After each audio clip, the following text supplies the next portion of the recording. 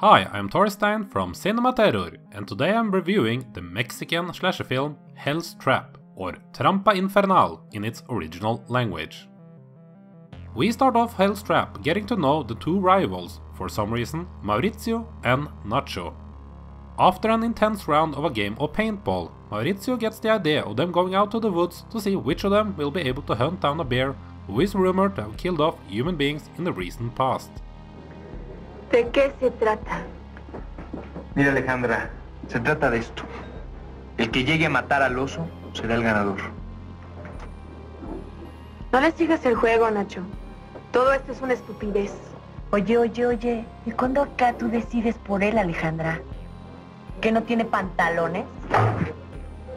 When a group of seven people head out to the woods, they do not come across a big bear, but rather a ruthless killer who does not approve of others trespassing in his area.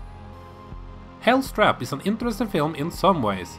It starts out with a regular slasher film tropes of a group of young people heading out to the woods, ignoring the warnings of an elderly man, and then finding themselves being hunted by a masked murderer. For some reason though, they didn't go full on horror, but rather included guns and machine guns to the mix.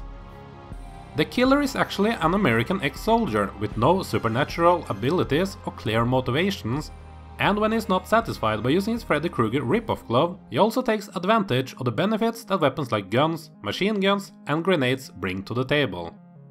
It's funny how it's actually a mixture of the three most popular horror villains of the 80s, with the already mentioned Freddy glove, the mask which can resemble a Michael Myers mask, and the fact that he lurks around in the woods like Jason Voorhees.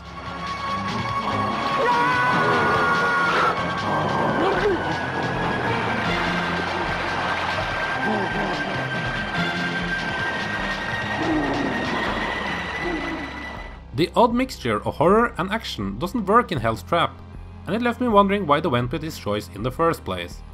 If you're going to have a masked serial killer hunting down people in the woods, then why even worry about adding action elements?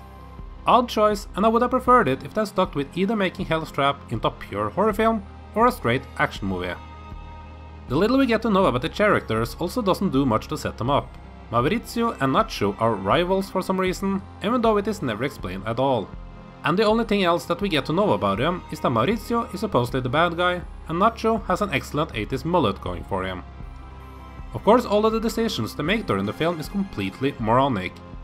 At one point they even had a chance to escape as they are all in the car and they can just drive on home, but no. They figure it is much better option to stop and hunt down the murderer. Si lo seguimos lo podemos.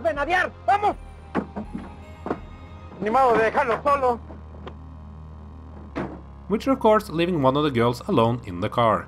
I bet you can guess what happens to her character next.